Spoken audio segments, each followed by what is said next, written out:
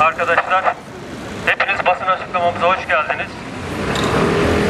Soykırıma dur diyelim, içeride ve dışarıda barış mücadelesini yükseltelim. 17 Ekim insanlık tarihine kara bir gün, bir soykırım günü olarak geçti. Adı yolsuzluklarla da karışan sağcı, ırkçı, faşist, İsrail hükümetinin çoğunluğu çocuk hastalardan oluşan Şeridindeki hastaneye düzenlediği saldırı sonucu yüzlerce kişi öldü, yüzlercesi yaralandı. Katliamı şiddetle kınıyor, yaşamını yitirenlerin ailelerine başsağlığı ve yaralılara acil şifalar diliyoruz. Bu açık bir savaş ve insanlık suçudur. Kararlılık göstergesi adı altında yapılan saldırı en asgari, ahlaki ve insani değerlerden yoksunluğu bir barbarlığı temsil etmektedir. Bu suçu işleyenler insanlığın vicdanında mahkum edilmiş, lanetlenmişlerdir.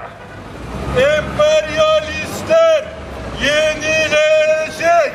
Filistin halkı kazanacak. Emperyalistler yenilecek. Filistin halkı kazanacak. Emperyalistler yenilecek. Filistin halkı kazanacak. Benzer katliamlara yol verilmemesi ve hesabının sorulması için bu suçu işleyenlerin ve sivillerin ölümüne yol açan benzer saldırıların talimatlarını verenlerin savaş suçları mahkemesinde yargılanmaları için derhal girişimde bulunulmalıdır. Bu nedenle emperyalist güçlerin işlevsiz hale getirdiği Uluslararası Savaş Suçları Mahkemesi'nin derhal toplanması ve süreci başlatması çağrısında bulunuyoruz. İsrail Devleti hükümeti daha fazla suça bulaşmamak için saldırıları durdurmalı, ateşkes sağlanmalı, insani yardımlara yönelik engeller kaldırılmalı, sorunların barış ve diyalog yoluyla çözümü esas alınmalıdır.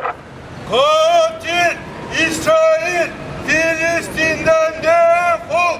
Katil İsrail Filistin'den defol. Katil İsrail Filistin'den defol. Kaygılıyız.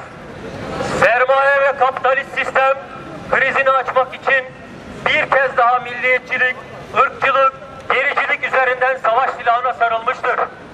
Son yıllarda sistematik olarak artan silahlanma yarışı ve birçok ülkede iktidara sağcı, ırkçı, gerici partilerin gelmesi de böylesi bir savaşın zeminini güçlendirmiştir.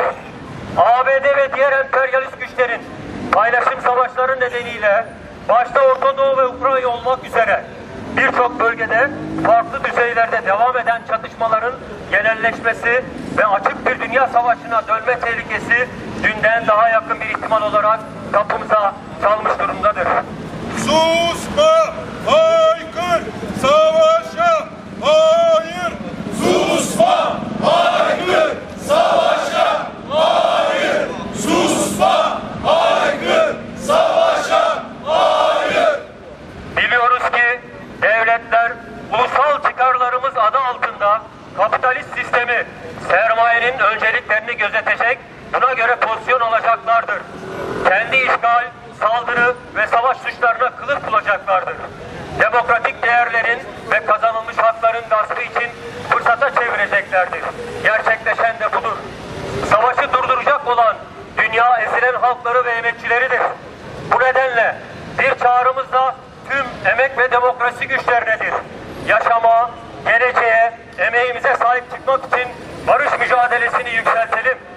Filistin halkı dünyadan ve Türkiye'den hamaset ile süslenen timsah gözyaşları değil, çözüm için acil somut adımlar atılmasını beklemektedir.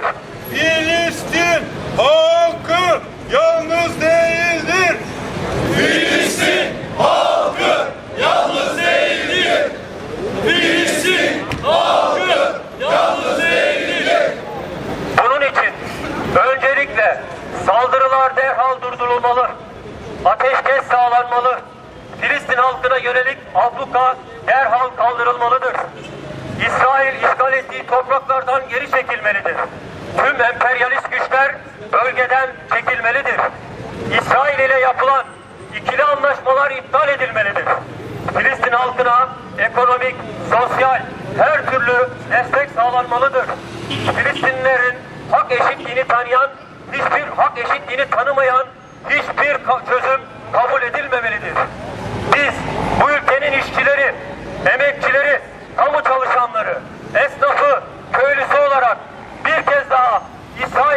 Soykırımına varan Gazze şeridindeki hastaneye, okullara ve sivillere yönelik tüm saldırılarını kınıyoruz.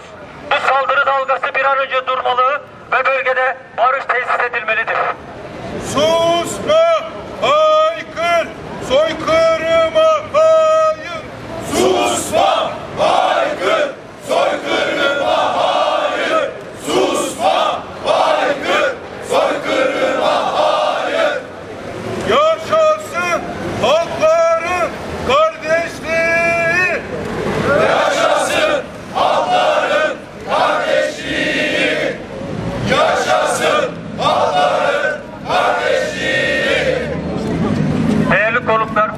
açıklamamız burada sona erdi. Destek veren tüm kurumlara sonsuz teşekkürler. Herkese iyi akşamlar.